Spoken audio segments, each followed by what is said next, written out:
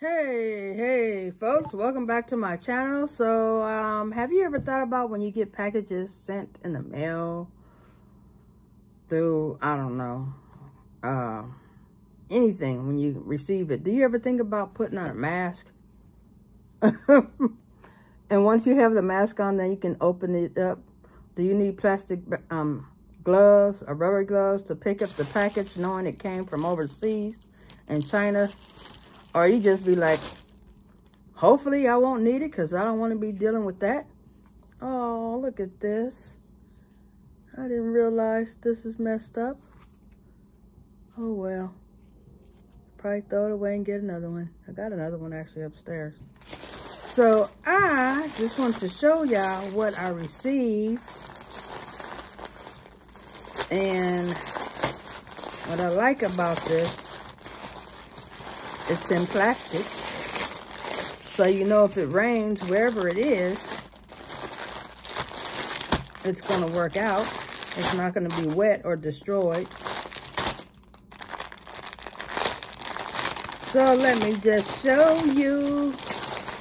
Ooh, interesting materials.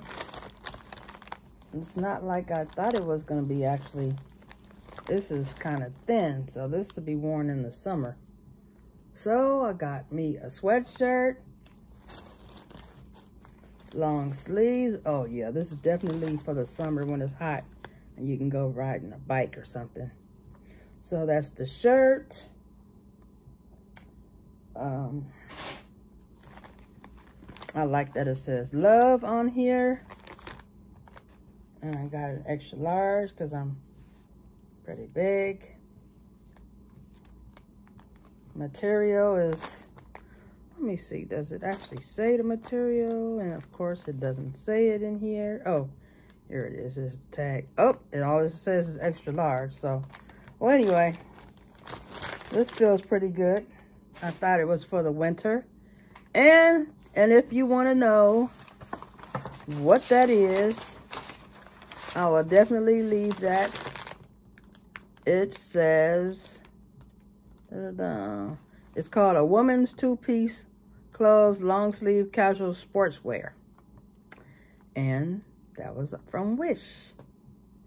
Don't forget to like my page, leave a comment, subscribe to my channel, and like everyone else, share on your social media.